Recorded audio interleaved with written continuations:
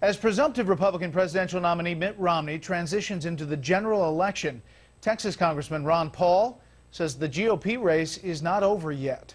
The man with the growing fan base also has a growing roster of delegates.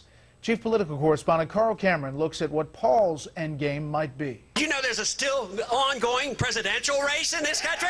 If Paul wins a plurality of delegates in five states, his name could be offered up for nomination in Tampa, which could win him lots of attention at Romney's convention.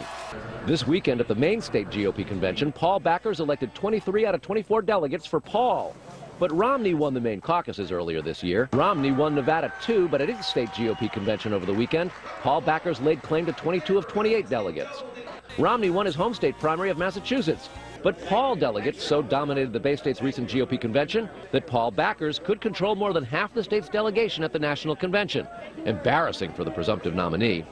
Rick Santorum won Louisiana and Minnesota at the ballot box, but he withdrew from the race, and that allowed Paul backers in both states to secure delegate majorities at both those states' recent GOP conventions.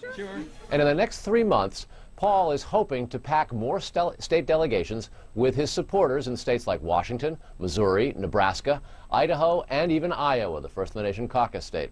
They are all but certain to nominate Romney, but their numbers suggest that when they get to the convention, a lot of it's going to be about Ron Paul, Brett. Could be interesting. Carl, thank you.